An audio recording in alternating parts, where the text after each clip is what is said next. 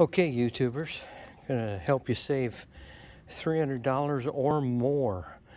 I have a 2010 GMC Sierra uh, SLE, and uh, I took it in to get some tire work done, done on it. And they came back and told me that there was a crack in the rim. So, like a good uh, eBayer, I got on eBay, located a rim, cost me $300, had them go change it, came back, and uh, what I found out was, as you can see, there's the crack right there that's in the rim. But all this stuff up here, plastic.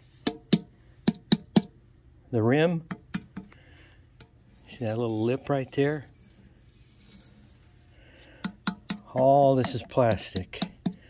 So the only thing that uh, was wrong was a cosmetic problem